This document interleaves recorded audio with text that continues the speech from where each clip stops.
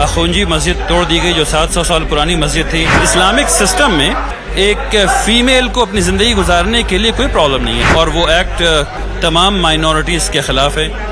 وہ ایکٹ تمام ماڈرنسٹس کے خلاف ہے۔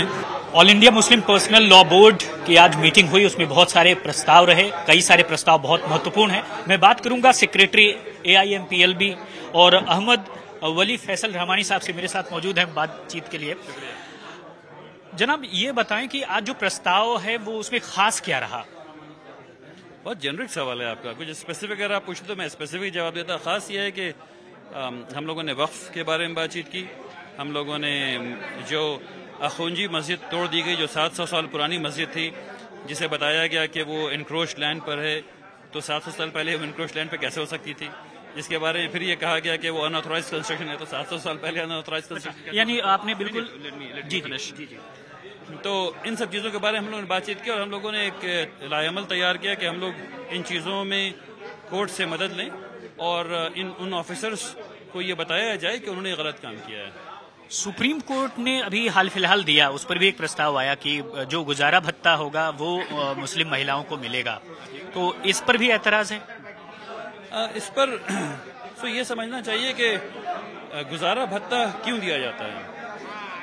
اس کی کفالت ہے۔ عورت ایک ایک فیمیل کو جو اگر ہماری کوئی بہن اپنے شوہر سے اسلامی پرنسپلز پہ الگ ہو گئی ہیں، تو ان کی جو لیونگ کنڈیشن ہے، اس کو مینٹین کرنے کا رائٹ اس آدمی کو نہیں ہو سکتا جو ان کی زندگی میں نہیں ہے۔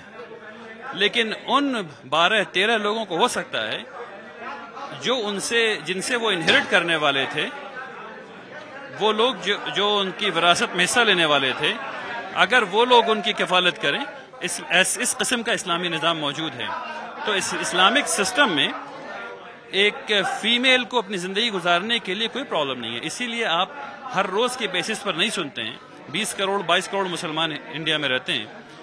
اگر ایسا ہوتا کہ مسلمان عورتوں کو یعنی الگ ہونے کے بعد ایشوز ہوتی زندگی گزارنے میں بہت زیادہ، جیسے کہ لوگ سمجھتے، سمجھاتے ہیں، تو وہ ہر روز نیوز پیپر کی فرنٹ لائن میں ہوتی ہے۔ لیکن آپ اسے ہر روز فرنٹ لائن میں نہیں دیکھتے ہیں۔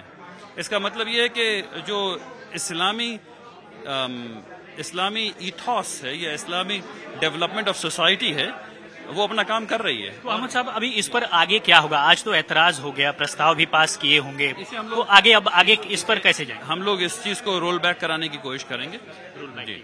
اچھا اتراکھنڈ میں یو سی سی کو لے کر کے بھی ایک پرستاؤ آیا ہے A I M P L B کی طرف سے؟ وہ کیا ہے؟ اتراکھنڈ کا یو سی سی اگین وہ یونیفارم سول کوڈ کو لانے کی کوشش کی وہاں پہ ایکٹ بنایا گیا ہے۔ اور وہ ایکٹ ایکٹ تمام مائنورٹیز کے خلاف ہے، وہ ایکٹ تمام ماڈرنسٹس کے خلاف ہے، وہ ایکٹ کسی بھی لبرل انسان کے لیے مناسب نہیں ہے۔ تو وہ ایکٹ ان ان ٹوٹل کسی انسان کے لیے صحیح نہیں ہے۔ تو نہ صرف یہ کہ all India Muslim personal law board بلکہ بہت ڈھیر ساری مائنورٹی رائٹس آرگنائزیشنز بہت ڈھیر ساری لیفٹ آرگنائزیشنز کمیونسٹ آرگنائزیشنز بہت ڈھیر ساری ایون رائٹ ونگ آرگنائزیشنز اس کو اس کے خلاف کورٹ میں جا رہی ہیں۔ تو بہت شکریہ بات چیت کرنے کے لیے۔ تو یہ تھے احمد ولی صاحب جو صاف طور پر کہہ رہے ہیں کہ پرستاؤ کے ساتھ ہی جو اتراکھنڈ میں یو سی سی کا مدعا ہے اور ساتھ ہی ساتھ سپریم کورٹ میں جو گجارہ بھتے کا مسئلہ ہے، اس پر نہ کیول اعتراض ہے، بلکہ اس میں آگے کی طرف بڑھ کر قانونی لڑائی بھی لڑیں گے۔